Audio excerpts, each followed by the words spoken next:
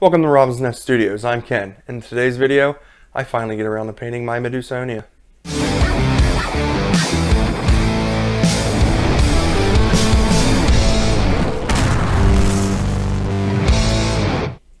I finally got around to painting the Medusonia.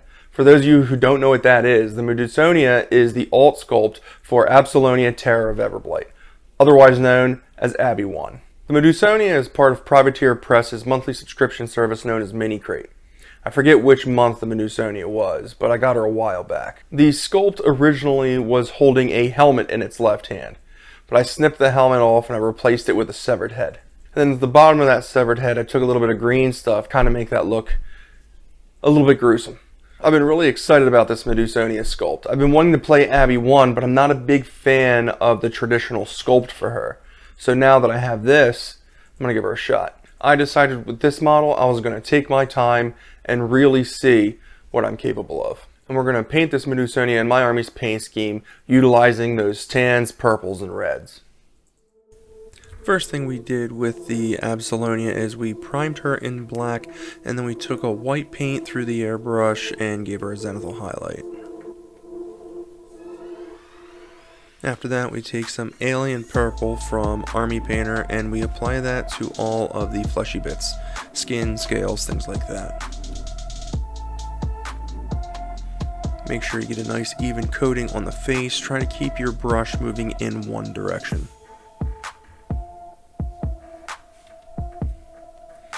After that's been base coated, we're going to take some cold gray to the snakes, and this is going to be the base coat for those.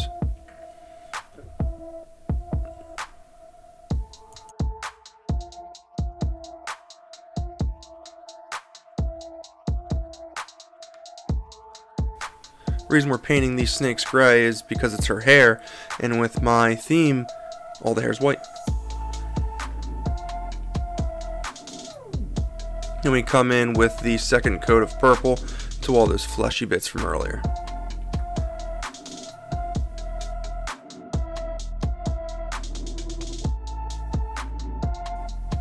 Now we come in with the second thin coat of cold gray to the snakes.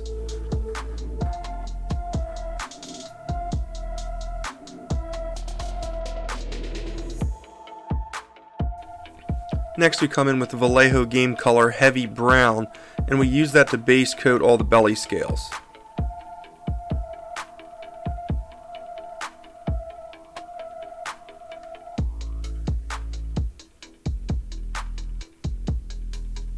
After the belly scales, we're also going to use this heavy brown to base coat the rattle at the end of the tail.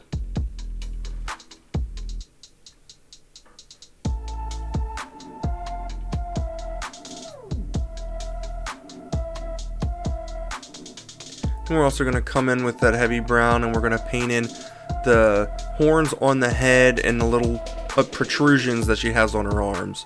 Looks like they're like scales.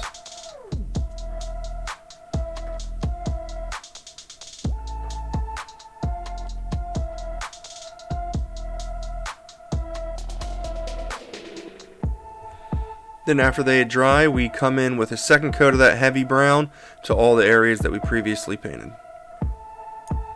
Be sure to keep your brush moving in one direction to help combat any kind of texturing the paint might leave.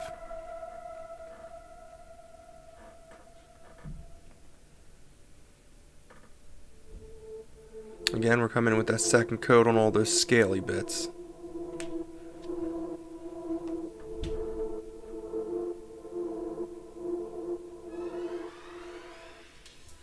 Now we're going to do the first stage of our highlights on the skin with a 50-50 mixture of Ooze Purple and Alien Purple from Army Painter. The Alien Purple from earlier was our base tone for this skin.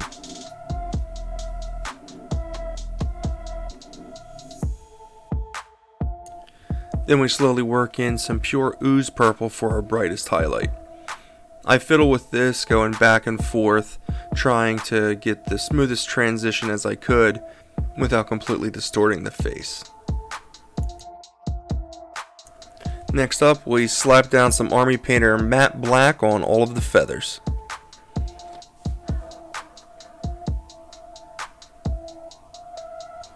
Then I come in with the trusty makeup brush with some cold gray on it and I give a nice dry brushing to all those feathers.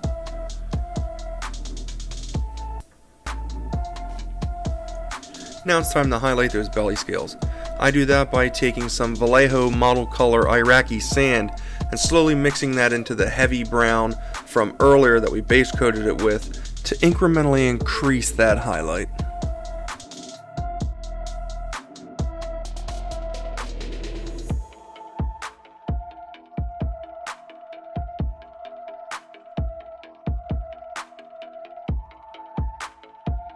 I slowly add a little bit more Iraqi sand up until we have pure Iraqi sand as our brightest highlight. I do this for the belly, the rattle, and then all of the other scale bits that we painted with that heavy brown.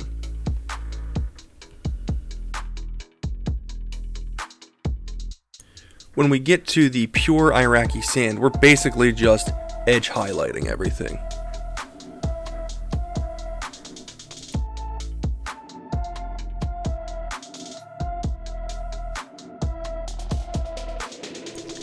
After we've finished up with the tans, it's time to move on to the reds. We're going to base coat this cloak in Vallejo model color dark red.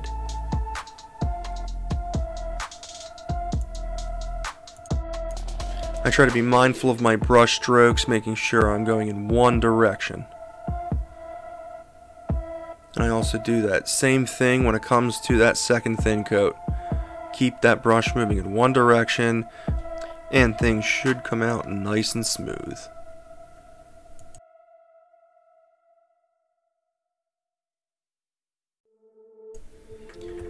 Next up we base coat all of the armor bits with Vallejo Game Color Gunmetal. And before you guys call me on it, yes I am aware that the paint brand's actual name is Vallejo, but I've been calling it Vallejo for so long that's just what it is in my brain. Sorry.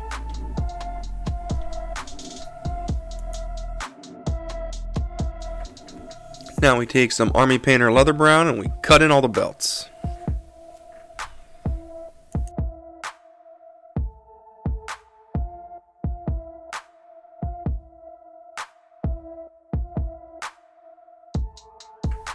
Now my first step to highlighting this cloak is I take some Army Painter Pure Red and I mix that into the dark red from earlier. We slowly increase this red into the dark red until we come up with a pure red highlight.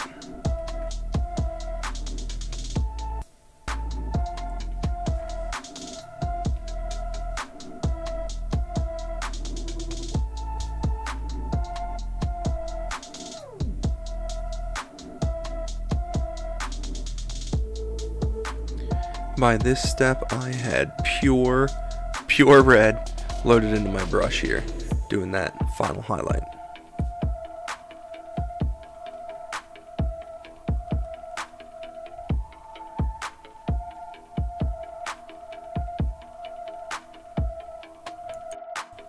Always being mindful of my brush strokes, trying to keep a nice smooth blend.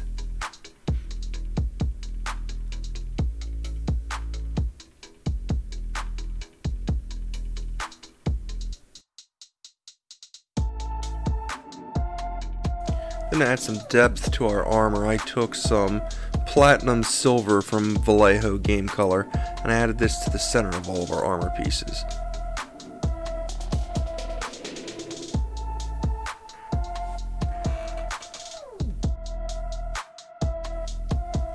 And now we are on to the most tedious part of my paint scheme, the gold trim. I kind of dread this on any model that I end up coming across that has armor on it because to keep it in sync with the army, it all has to have this gold trim on it. And it's a time sink. I'm taking it slow, not trying to rush myself, because I don't want to accidentally get gold on that purple that we just worked so hard on.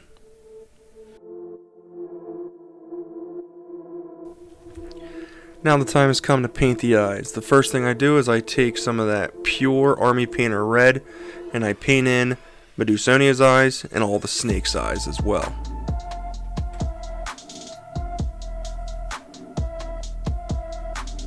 Don't forget to get that second coat in there.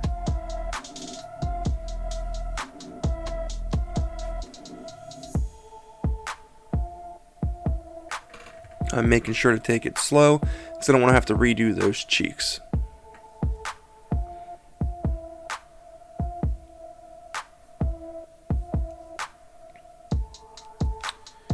About this time I realized the cloak wasn't really popping to me. So I ended up taking a 50-50 mixture of Iraqi sand and pure red to try and create an even brighter highlight on this cloak. After placing a very rough, bright highlight with that mixture, I came in with some of that pure red from Army Painter, but in a glaze form. And I took that and glazed it over all of those highlights that we just added. Adding more and more of a glaze until I have a nice smooth transition.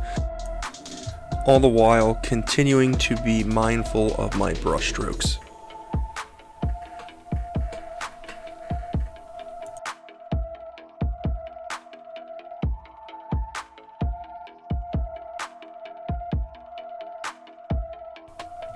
Then I bounce back to doing the eyes. I take Vallejo Model Color Light Orange and I fill in a slightly smaller area than I did with the red in all of the eyes. Then we take some Vallejo Model Color Deep Yellow and we put a little dot of that in each eye. This is really going to make those eyes pop and kind of give a glow effect.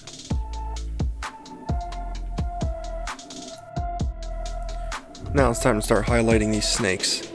What we're going to do is we're going to take some pure white and we're going to slowly introduce that into our cold gray, gradually increasing that highlight with each step.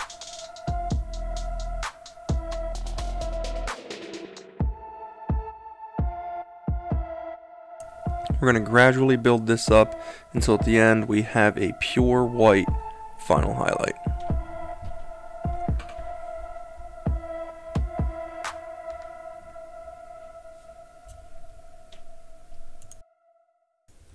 Almost forgot about the fingernails. We're going to cut all these in with that Army Painter matte black.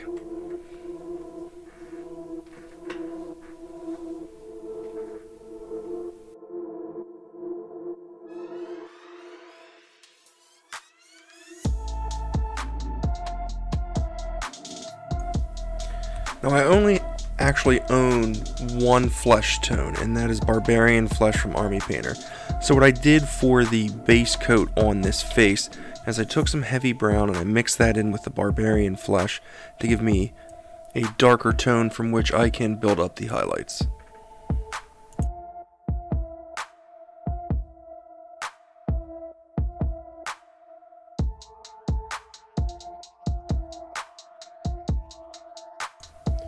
And then here I just keep adding some barbarian flesh to that mixture from earlier and increasing the highlight on this face.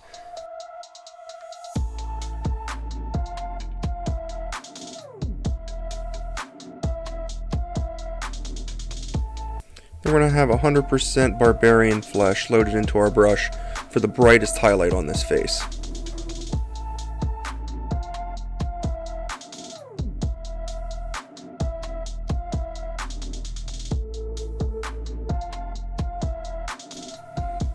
Then we come in with some dark red and we fill in the eye sockets to this severed head.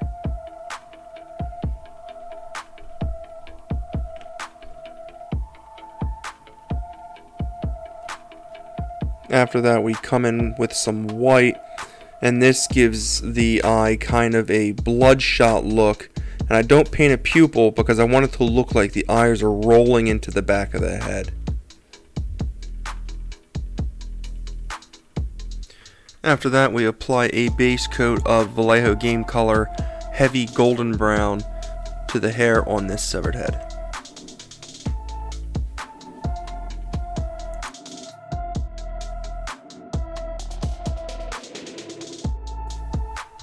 Then we come in with some of that deep yellow and we highlight the hair.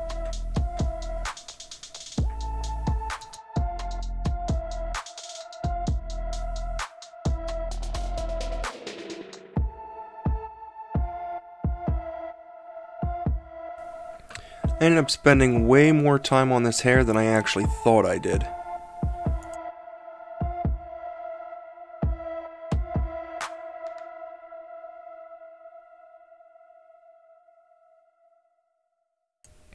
Way too much time.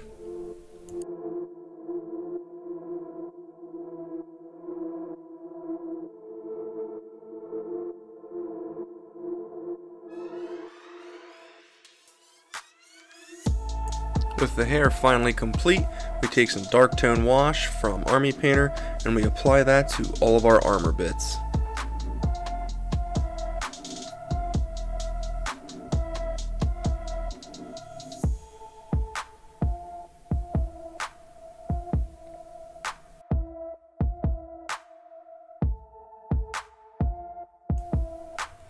We're going to add this to our leather belts as well.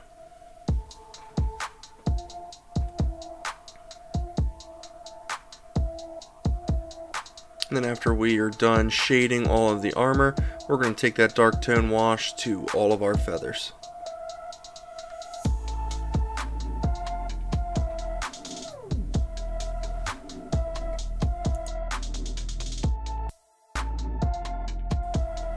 Then the final job we have for that dark tone wash is we're going to line all of the snakes in the hair. Now, for whatever reason, I did a horrible job with recording this, but the main premise is to take a nice pin line to all the deepest recesses in the hair. And then we take some Army Painter Soft Tone and we recess shade all of the belly scales.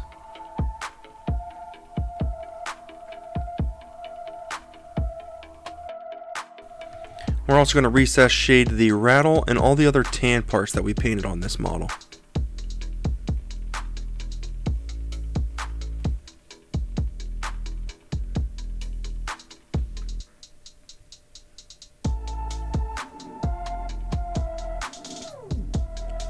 After that, we paint the rim black in preparation for basing.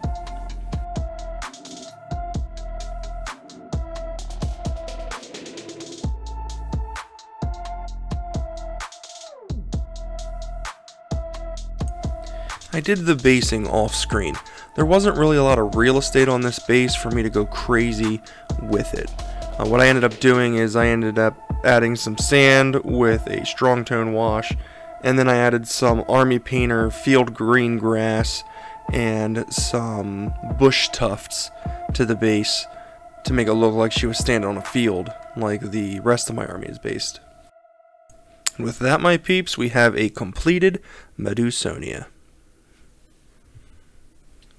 I spent about 10 hours on this model. Since it's a limited edition sculpt, I really wanted to take my time with it. Allowing myself to slow down on this model gave me the time to really practice those more time-consuming techniques like glazing and layering and wet blending and trying to get those nice smooth transitions. So what did you guys think of my take on the Medusonia? Did you like it? Is it good? Is it great? Is it trash? Should I throw it away? Let me know in the comments section down below.